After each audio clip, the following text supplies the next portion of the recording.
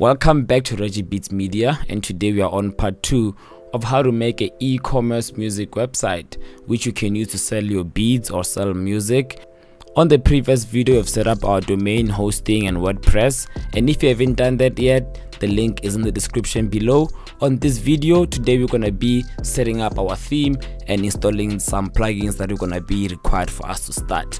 So hit the sub button if you wanna learn more and let's get it okay cool. So first thing first now i'll just go through this menu. So on this side this is the menu you're going to be using the most to edit and create most of our website. So here's the dashboard that's where you get the updates you know the announcements posts is your blog posts media is your files mp3s pictures pages. Is the pages for a website. Comments comments on your pages or beats or products. Appearance is where we change how the website looks. Plugins is where we add extra functionality to the website. Users it's where we manage the users. Tools just some extra tools for wordpress. We'll still go through all of these things. I'm just going through them now. The all-in-one plugin migration you might not see it if you didn't install using hostinger because hostinger has this plugin as default so you might not see that settings and more. So now we're gonna start by going to settings first and you're gonna go to permalinks.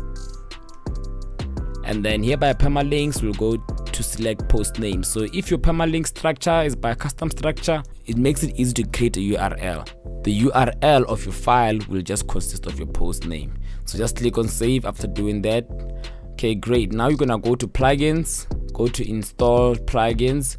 So you're gonna remove all the plugins that we have here at first. So we already have some that are deactivated. You can just click on delete because we want to start from uh, from afresh. But then you might not have all these plugins then that's fine. It's gonna wait for me to delete I'm gonna select everything now and deactivate them first because you have to deactivate before you delete. The other ones are already deactivated. So click on apply to deactivate and select everything again. Click on delete then apply.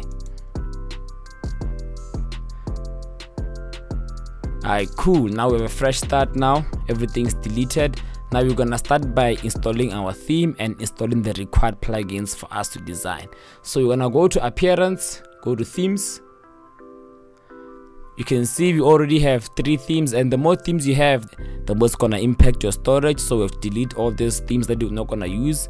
So this one I'm gonna select on theme details then click on delete at the corner. Then you're gonna select on this one theme details too click on delete. Okay cool. Now you only have this one left but you can't delete it unless you add a new one. Now you're gonna go click on add new and then you're gonna look for hello elementor. If you don't see hello elementor you can search for it. It will appear. It's very easy. Now click on install then activate. Okay now our hello elementor theme is installed. We can delete this theme. Theme details delete. Deleting the 2023 these are the default themes.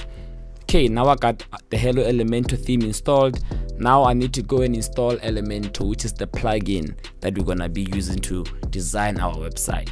So click on install elementor. Okay click on activate plugin. Okay cool. So now we just need to go through this process to set up our website the details the logos and everything. So you can either connect your account or you can skip it. For now i'm gonna skip it. And then site name. My site name is m roger beats. You can also put your site name click next. The image if you have already have a logo you can just select it here. Uh, but i don't have a logo now. I'll add it as we go by. So i'm gonna click on skip. Okay cool. Now we are good to go. So the next step is to start designing so we're gonna choose between these two. Either we're gonna go from a edit a blank canvas with the elementor editor or we're gonna import the template. On this video we're gonna be doing it from scratch. So we're gonna create a new one but we'll just skip and then we'll do it on the next part. So just click on skip. Okay cool. So now if you get this then it means that your elementor has installed. Then you can just close it for now then close that as well and then you're gonna go to the menu just click on exit uh, decide later we don't want to save anything now we're just installing the elementor then close this as well then click on the W so we can go back to our WordPress dashboard admin. So we're gonna go to plugins, click on install plugins. Now we know our Elementor is installed and our theme is installed. So this is what we need to get started. I'm gonna end this video here. I'm gonna see you on the next one where we're gonna start designing the header.